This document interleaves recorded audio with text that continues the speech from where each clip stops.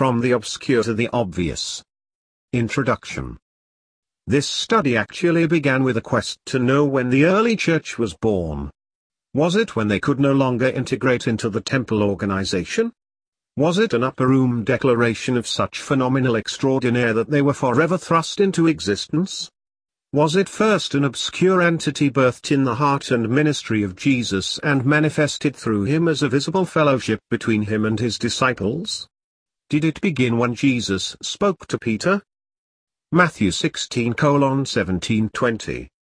Jesus answered and said to him, Blessed are you, Simon Bar-Jonah, for flesh and blood has not revealed this to you, but my Father who is in heaven. And I also say to you that you are Peter, and on this rock I will build my church, and the gates of Hades shall not prevail against it. And I will give you the keys of the kingdom of heaven, and whatever you bind on earth will be bound in heaven, and whatever you loose on earth will be loosed in heaven. Then he commanded his disciples that they should tell no one that he was Jesus the Christ. Perhaps it began as a tabernacle of the congregation in the wilderness of Sinai and later manifested itself as the Temple of Solomon. Numbers 1 to 1. Now the Lord spoke to Moses in the wilderness of Sinai, in the tabernacle of meeting. Old Testament, 4150 Moed or Moed, or, feminine, Moadah, 2 Chronicles 8:13, Mo or Dor. From Old Testament, 3259, properly, an appointment, a fixed time or season, specifically, a festival, conventionally a year, by implication, an assembly, as convened for a definite purpose, technically the congregation, by extension, the place of meeting, also a signal, as appointed beforehand. King James Version. Appointed, sign, time, place of, solemn, assembly, congregation, set, solemn, feast, appointed, due, season, solemn, solemnity, synagogue, set, time, appointed. BibleSoft's new exhaustive Strong's Numbers and Concordance with Expanded Greek, Hebrew Dictionary. Copyright 1994, 2003 BibleSoft, Incorporate, and International Bible Translators, Incorporate. When Solomon spread his hands out toward heaven, while kneeling at the temple dedication, did he birth the church? After all, when he finished, the fire fell and a cloud filled the edifice.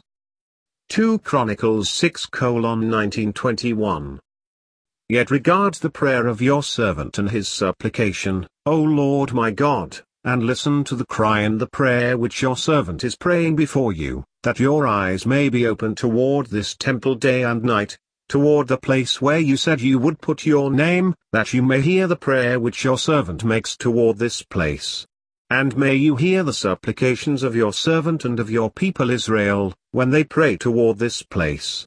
Hear from heaven your dwelling place, and when you hear, forgive.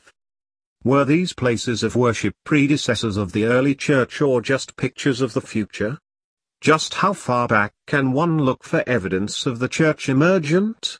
I think it interesting that Stephen, the first Christian martyr, went as far back as Abraham and then cited Moses and the church in the wilderness and ended with Solomon's temple in his message. His conclusion was the church incorporated the faith of Abraham, the hearing from God of Moses, the presence of God is in the temple, but not the rapaciousness of the three. No Ishmael, no golden calf and no contradiction of terms against holiness and that of carrying out sacrifices need be tolerated. Acts 7 colon 48 53. However, the Most High does not dwell in temples made with hands, as the prophet says, Heaven is my throne, and earth is my footstool. What house will you build for me? Says the Lord. Or what is the place of my rest? Has my hand not made all these things? Israel resists the Holy Spirit. You stiff-necked and uncircumcised in heart and ears. You always resist the Holy Spirit, as your fathers did, so do you. Which of the prophets did your fathers not persecute? And they killed those who foretold the coming of the Just One, of whom you now have become the betrayers and murderers, who have received the law by the direction of angels and have not kept it. Notice who they resisted the Holy Spirit. The hearers reacted exactly as their forefathers and revealed the heart of the stoners. Thus, the church was shown to be different than those regaled in their religion. It is the same today. Paul stepped back further in history than Stephen in Acts 17, beginning with creation. While presenting at Mars Hill, he went back to the purposeful intentions of the Maker. God had the church in mind when he formed man. Acts 17 22 31. Then Paul stood in the midst of the Areopagus and said, Men of Athens, I perceive that in all things you are very religious, for as I was passing through and considering the objects of your worship, I even found an altar with this inscription. To the unknown God. Therefore, the one whom you worship without knowing, him I proclaim to you, God, who made the world and everything in it, since he is Lord of heaven and earth, does not dwell in temples made with hands.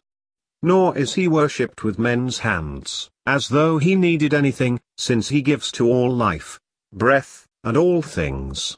And he has made from one blood every nation of men to dwell on all the face of the earth, and has determined their pre-appointed times and the boundaries of their dwellings, so that they should seek the Lord in the hope that they might grope for him and find him, though he is not far from each one of us, for in him we live and move and have our being, as also some of your own poets have said, for we are also his offspring. Therefore, since we are the offspring of God, we ought not to think that the divine nature is like gold or silver or stone, something shaped by art and man's devising. Truly, these times of ignorance God overlooked, but now commands all men everywhere to repent, because he has appointed a day on which he will judge the world in righteousness by the man whom he has ordained. He has given assurance of this to all by raising him from the dead. The Church is not a philosophic station for indoctrination, as proven by Paul at Athens. Born in the heart of God, the Church was his intention all along. His walk with Adam testified of a fellowship with man. Later, the tabernacle was a picture, as well as the temple, as a place to meet God on his terms. Both of them pointed to Jesus and the knowledge that he was to be the cornerstone of an approachable God. The brazen serpent, the rent veil, the cross and the empty grave were alike. The divine purpose, all along, was to have a people of faith, who listened to him and followed his instructions and who would fellowship with those who did the same. The church was not born in the upper room, it was born before the foundation of the world. However, it was separated and sanctified in the upper room. For a while its Jewish constituents maintained their temple membership, but it soon became obvious they could not with conscience continue. Not only did the established authorities disdain them, God's people felt more and more out of step with them. Confrontations arose and slowly the early church became a greater entity than the temple. The addition of 3,000 and then 5,000, plus myriads of priests and Jewish and Gentile converts, caused the church to outnumber the temple goers. The people of God were no longer represented by the temple's high priest or its Levitical structure, but rather by those who identified with Jesus, his miracle power working in his saints along with the gospel of grace flowing out of born-again hearts, who were filled with the Holy Spirit. These became God's spokespersons. Those who are characterized by the same elements are still the true spokespersons for God today. New definitions characterized the early church which made it distinct. They were believers in Jesus Christ and filled with the Holy Spirit. Notice please the great emphasis on being filled with the Spirit. Soon the filling, just like in the day of Pentecost, would begin to be the hallmark of the believer. There were no believers who were not filled with the Spirit and none who did not speak in other tongues. There were no exceptions, they all spoke with other tongues. Miracles and signs and wonders characterized their ministry. There was no place where they ministered that these signs and wonders failed to appear and do their work. Listening only to the Spirit was universal.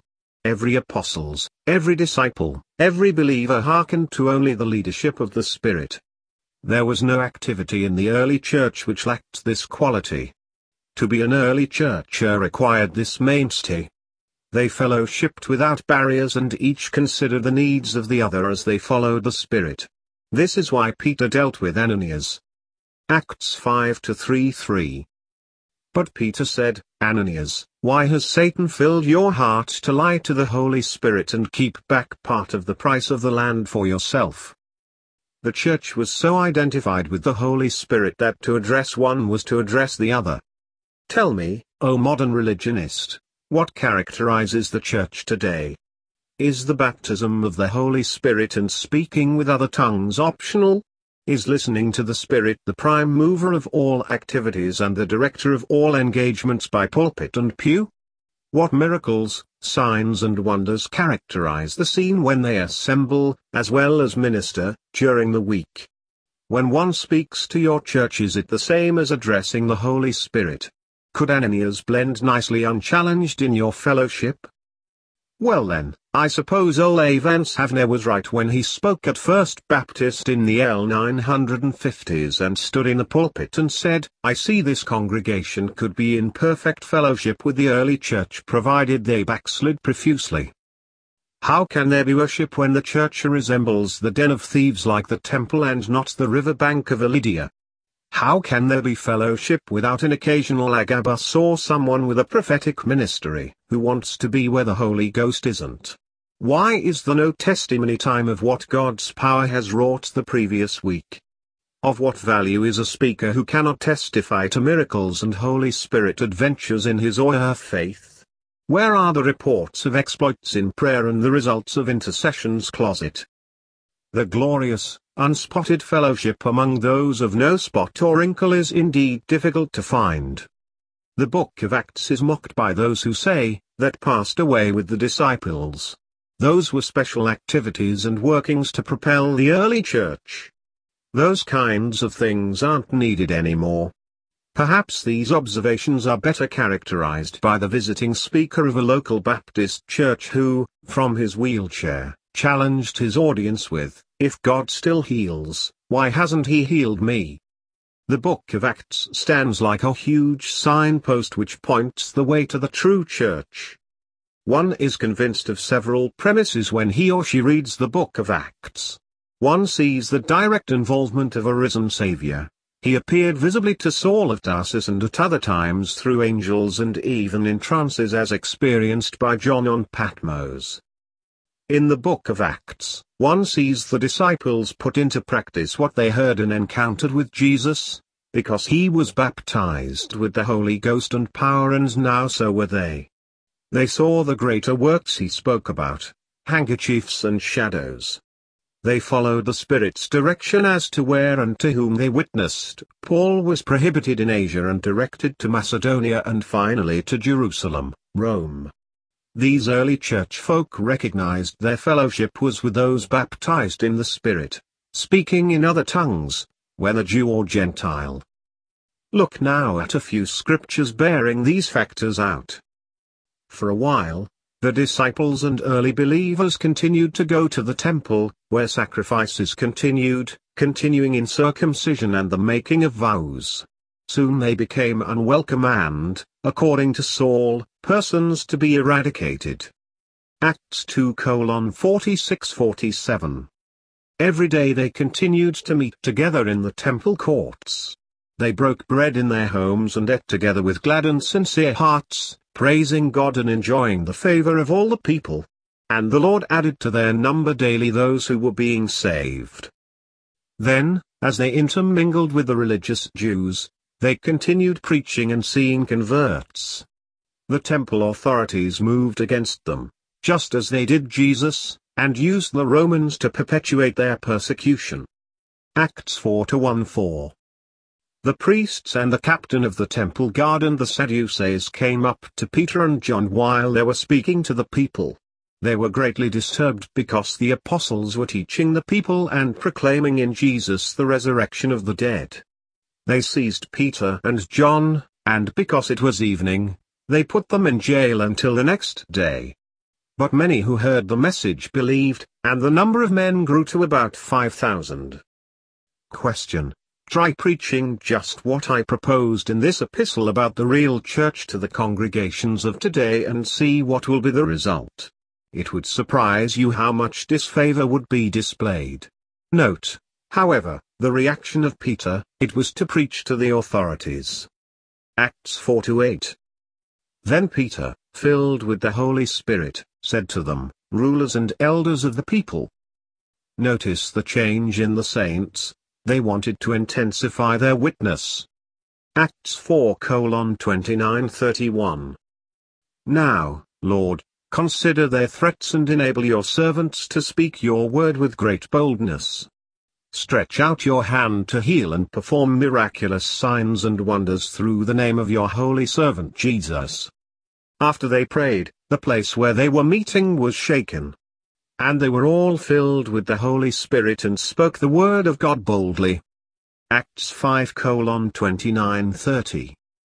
Peter and the other apostles replied, We must obey God rather than men. Acts 5:42. Day after day, in the temple courts and from house to house, they never stopped teaching and proclaiming the good news that Jesus is the Christ.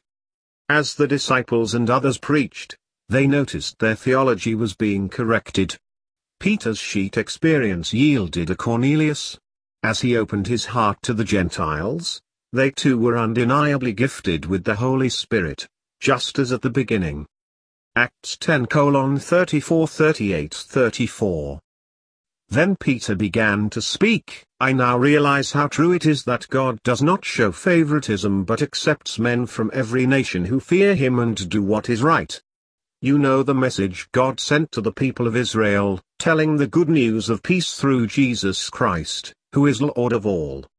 You know what has happened throughout Judea, beginning in Galilee after the baptism that John preached how God anointed Jesus of Nazareth with the Holy Spirit and power and how he went around doing good and healing all who were under the power of the devil, because God was with him. Acts 10 44 48. While Peter was still speaking these words, the Holy Spirit came on all who heard the message. The circumcised believers who had come with Peter were astonished that the gift of the Holy Spirit had been poured out even on the Gentiles.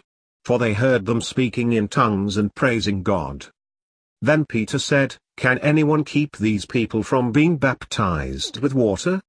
They have received the Holy Spirit just as we have. So he ordered that they be baptized in the name of Jesus Christ. Then they asked Peter to stay with them for a few days. Notice the order, they were baptized after they received the Holy Spirit. Simon, while testifying to the saints in Jerusalem, phrased what happened in significant clothing. He exclaimed the Gentiles received the Holy Ghost just as we have, that meant an infilling with fire and speaking in tongues. Slowly, there was a shift in those stationed in Jerusalem. They began to oversee the work of the ministry, sending out Barnabas and sanctioning Paul. Acts 13 2 3. The Holy Spirit said, Set apart for me Barnabas and Saul for the work to which I have called them. So after they had fasted and prayed, they placed their hands on them and sent them off. How long has it been since the Holy Spirit has spoken at your church? The apostles at Jerusalem encouraged the saints to remain true to the Lord and be known for being full of the Holy Spirit and faith. Inside the congregations, the gifts of the Spirit began working. The various offices of pastor, teacher and prophet came to fruition. Note the following passage. Acts 11 22 28. News of this reached the ears of the church at Jerusalem, and they sent Barnabas to Antioch. When he arrived and saw the evidence of the grace of God, he was glad and encouraged them all to remain true to the Lord with all their hearts. He was a good man, full of the Holy Spirit and faith, and a great number of people were brought to the Lord. Then Barnabas went to Tarsus to look for Saul, and when he found him, he brought him to Antioch. So for a whole year Barnabas and Saul met with the church and taught great numbers of people. The disciples were called Christians first at Antioch. During this time some prophets came down from Jerusalem to Antioch. One of them, named Agabus, stood up and through the Spirit predicted that a severe famine would spread over the entire Roman world. This happened during the reign of Claudius. I set out the red portion to emphasize the role of a true prophet his words came true. Lord, we need the Agabus ministry today more than ever. What passes as prophecy today is not in league with this early churchman. Notice that Agabus prophesied through the Holy Spirit. This is another major evidence that all the work of ministry and gifts are to be through the Holy Ghost. Everything associated with the early church was through the Spirit. Why is this so difficult today? The sent out ones worked through the Spirit. They compromised at no point. Paul's encounter with Elymas is a great example. Acts 13 to 9 11. Then Saul, who was also called Paul, filled with the Holy Spirit, looked straight at Elymas and said, You are a child of the devil and an enemy of everything that is right. You are full of all kinds of deceit and trickery. Will you never stop perverting the right ways of the Lord? Now the hand of the Lord is against you. This kind of spirit discernment ought to be active in every congregation. It's the New Testament church we must emulate, not the competition down the street. Everything was subject to the Holy Ghost. Even when the Jews began to persecute them, the scripture says. Acts 13 52 14 1. The disciples were filled with joy and with the Holy Spirit. Even when the doctrines of the disciples was questioned and an illegitimate theology arose, it was the Holy Spirit-filled brethren that cast it aside. Acts 15 5. Then some of the believers who belonged to the party of the Pharisees stood up and said, The Gentiles must be circumcised and required to obey the law of Moses. Such is what Terry Mize called the carnal mind, which so often occupies the reasoning of religionists. He points out scripture, the carnal mind is at enmity against God, and claims this often characterizes church leadership. Mize discovered that what his own home church told him about Scripture was diametrically opposed to what the Holy Spirit had revealed to him. There came a time when he had to abandon his ordaining fellowship in order to comply with the Word. So much for church unity. Look what the Fathers said. Acts 15 28 29. It seemed good to the Holy Spirit and to us not to burden you with anything beyond the following requirements. You are to abstain from food sacrificed to idols, from blood, from the meat of strangled animals and from sexual immorality. You will do well to avoid these things. Oh, think of it, if all church decisions seemed good to the Holy Spirit. Paul took this principle of spirit reliance in all his activities and look at the results. We have his writings and his legacy of missionary evangelism the likes of which have rarely been emulated. The book of Acts literally chronicles his giant footsteps ordered by the Spirit. Acts 16 to 610. Paul and his companions traveled throughout the region of Phrygia and Galatia, having been kept by the Holy Spirit from preaching the word in the province of Asia. When they came to the border of Mysia, they tried to enter Bithynia, but the Spirit of Jesus would not allow them to. So they passed by Mysia and went down to Troas. During the night Paul had a vision of a man of Macedonia standing and begging him, Come over to Macedonia and help us. After Paul had seen the vision, we got ready at once to leave for Macedonia, concluding that God had called us to preach the gospel to them. Spirit dependency produces a different missionary than a board appointment to a territory. Spirit dependency produces a different result than can be achieved by man's reasoning. Spirit dependency guarantees one's safety and success. Spirit dependency produces a different kind of convert than can be achieved by indoctrinated proselytes. Spirit dependency introduces the element of heaven to any earthly pursuit. Sometimes the Spirit says no, and the child of obedience seeks another path. Paul turned his path in a different direction and encountered a second no. Oh, it's good to walk with the Holy Ghost. Outcomes are always positive with him, even when the ship is wrecked and the adder bites. Author's comment. Now we are getting a true picture of the real New Testament church. It is a body of people who have been baptized in the Spirit and speak in other tongues. These are they who are led by the Spirit in the choice of their leaders and depend on the Spirit to guide their theology and to make their decisions as to doctrine and inclusion. They rely on the Spirit to determine where they missionize and to whom they preach. They believe they are harvesting the white fields already cultivated by the Spirit. They reject the intrusion of religion and lean upon the Spirit to determine their actions. They are blessed by miracles and signs and prophetic utterances, and they operate in all the gifts of the Spirit.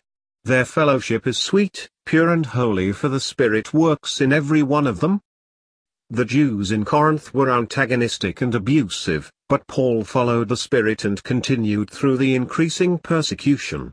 Where the Lord sends, he always shows up. Acts 18 to 9 11. One night the Lord spoke to Paul in a vision Do not be afraid, keep on speaking, do not be silent. For I am with you, and no one is going to attack and harm you, because I have many people in this city. So Paul stayed for a year and a half, teaching them the Word of God. Later, Paul moved to Ephesus and discovered disciples of John. Look at the move of the Spirit in this case. Acts 19 to 1 7. Paul took the road through the interior and arrived at Ephesus. There he found some disciples and asked them, Did you receive the Holy Spirit when you believed? They answered, No, we have not even heard that there is a Holy Spirit. So Paul asked, Then what baptism did you receive? John's baptism, they replied. Paul said, John's baptism was a baptism of repentance. He told the people to believe in the one coming after him, that is, in Jesus. On hearing this, they were baptized into the name of the Lord Jesus. When Paul placed his hands on them, the Holy Spirit came on them, and they spoke in tongues and prophesied. There were about twelve men in all. What was Paul's definitive question? It was, Did you receive the Holy Spirit when you believed? Then observe the content of what he told them and what the result was as he laid hands on them. Oh yes. Holy Spirit fire came upon them and they spoke in tongues and prophesied. Maybe it is time to ask, whose baptism did you receive? Was it Joel's or Jesus? The result of their obedience to the Spirit and the work of the Holy Ghost in them yielded fertile soil for what happened next. Acts 19 11 12. God did extraordinary miracles through Paul, so that even handkerchiefs and aprons that had touched him were taken to the sick, and their illnesses were cured and the evil spirits left them. One of the problems of the modern church is it wants the miracles and not the strict obedience to the Spirit. Such obedience determines the outcome, even when the result is one's death. Acts 20 22 24. And now, compelled by the Spirit, I am going to Jerusalem, not knowing what will happen to me there. I only know that in every city the Holy Spirit warns me that prison and hardships are facing me. However, I consider my life worth nothing to me, if only I may finish the race and complete the task the Lord Jesus has given me, the task of testifying to the gospel of God's grace. Compelled by the Spirit is the operative in this verse, even in the face of warnings and prohibitions by reliable, Spirit-induced, prophets. He did not yield to the sin of the prophet in the Old Testament, 1 Kings 13, he held to Revelation 12, the blood of the Lamb, the word of his testimony and he loved not his life to the death. In these days of deception and betrayal, the word and the guidance of the Spirit is all we have and all we need. The early church proved this and we must follow in their steps.